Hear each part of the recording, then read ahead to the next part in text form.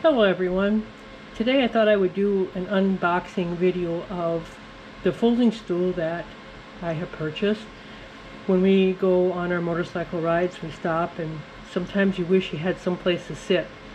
And so, and sometimes the logs are really, well they're kind of hard to sit on. So we thought we'll try some folding stools. So, what we did is we purchased these folding stools I'll leave a link for it in my description for you to look at if you're interested. So let's take this out of the bag. And as you can see, it's in a carrying case, which is nice because that way when you're done, you can put it back in and everything doesn't get all dirty. It's a little snug fit, but that's okay. Very small, very nice. Looks like it's well constructed got these pla uh, elastic to keep the tabs in place.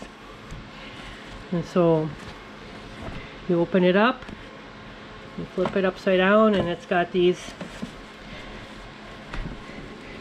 Put it together.